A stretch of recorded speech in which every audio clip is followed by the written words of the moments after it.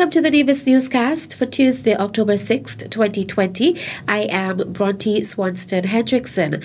The Ministry of Agriculture hosted a seminar to formally discuss the third quarter reports of the various divisions in the Department of Agriculture. Presentations were made by a number of divisions, including quarantine, engineering, small farm equipment pool, veterinary services, livestock, abattoir, agro processing, extension services, marketing, and forestry services. The presentations included reports on the work done this year and their intentions going forward. Minister of Agriculture, the Honorable Alexis Jeffers, was present at the seminar and commended the department for the work they've been doing thus far in spite of the COVID 19 pandemic. I just want to commend all of the presenters who would have presented uh, today.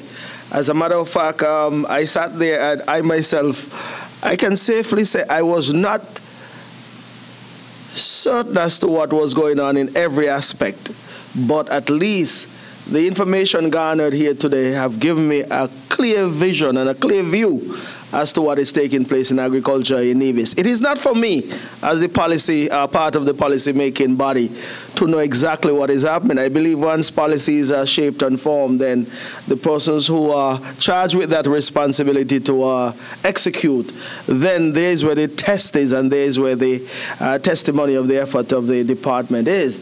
And I want to say that everyone would have presented here this morning some glowing reports. Everyone would have indicated that they, uh, their challenges ahead, of course, yes.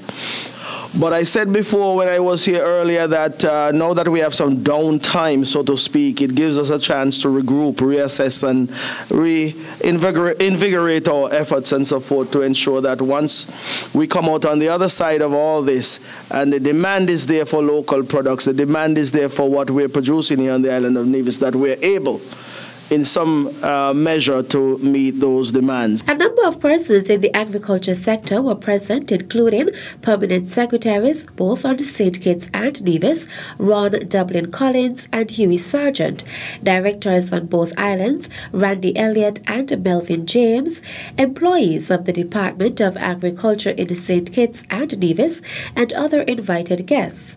The seminar was broadcast live on Nevis Television's Facebook page. David Coury and Company Limited has donated a package of medical equipment to the Alexandra Hospital. The presentation was made by Director and Manager Peter Coury on Monday, October 5th. He expressed the hope that the gift would supplement the existing equipment at the hospital in light of the COVID 19 pandemic. Nevis and its people have always been dear to us. We go back to our parents and founders, David and Josephine Coury, who traded there for from the early 1900s and which we have continued. We wish you continued success in coping with the present crisis caused by COVID-19, which your medical team and all related officers has so successfully protected our, our federation. May God bless you all. Accepting the donation on behalf of the Nevis Island Administration's Ministry of Health was Medical Officer of Health and Chair of the Nevis COVID 19 Task Force, Dr. Judy Nisbett, and Dr. Duana Pemberton Jeffers of the Alexandra Hospital. I am pleased to accept these oxygen concentrators and also the infrared um, non-contact infrared thermometers.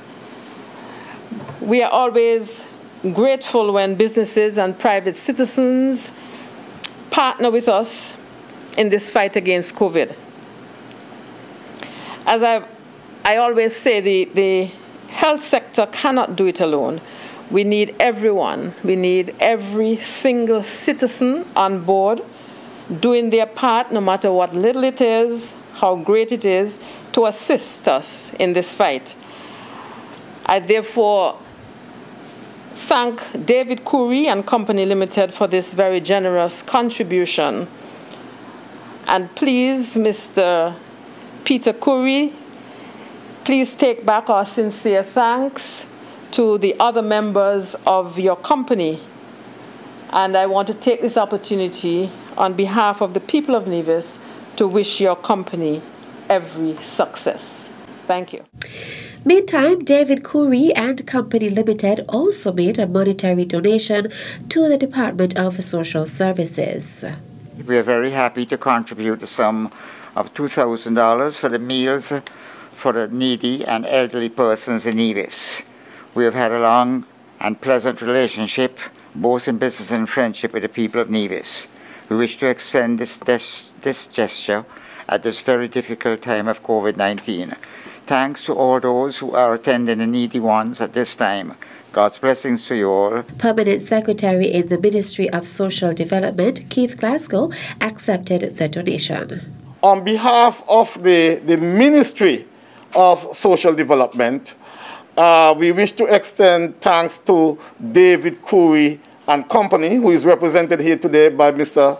Peter Coury, for this very generous donation. And we plan to use this donation exactly as you would have intended or requested. And so, again, we want to say that we are grateful to the company of David Coury for this very important donation that would go to the needy and the seniors. Thank you very much, Mr. Peter Coury, for representing your company, and we are always grateful when the corporate sector steps up to the plate and take, you know, their social responsibility as seriously as the David Coury Company is doing today. The presentations were made at the Nevis COVID 19 EOC briefing on Monday, October 5th.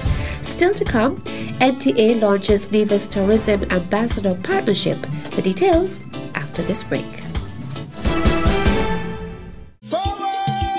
Known as Oualie, land of beautiful waters by its native inhabitants, and later nicknamed Queen of the Caribbean by British settlers, Nevis has long relied on its natural prowess and resources to create livelihoods for its people the people of Nevis have long remained connected to the gifts nature has bestowed. As an ambassador of this majestic island, it is my duty to encourage my people to nurture, preserve, and protect what makes us unique as a people and strong as a country.